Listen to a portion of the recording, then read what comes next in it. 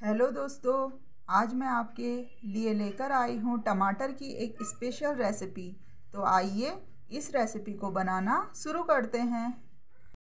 यहाँ पर मैंने तीन टमाटर लिए हैं। अब इन्हें हम इस प्रकार काट लेंगे। टमाटर काट लिए हैं और जो इसके अंदर का सॉफ्ट भाग है, इसे हमें इस प्रकार निकाल देंगे।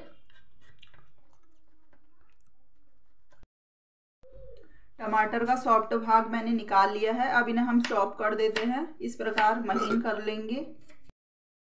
हम इसमें दो अंडे डाल देंगे। एक चम्मच मैदा ऐड कर देंगे।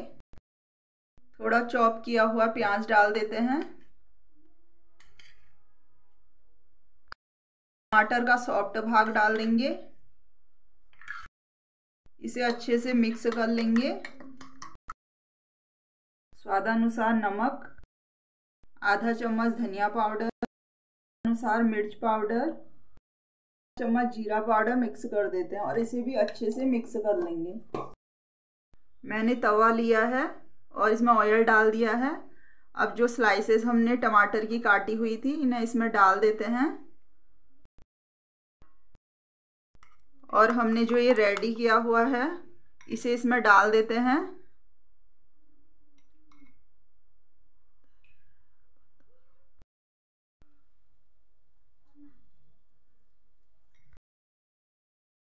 एक साइड पक चुके हैं।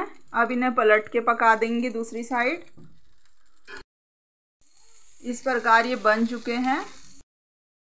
और इस बात का ध्यान रखना है कि जब हम इन्हें बनाए तो तवा गरम होना चाहिए।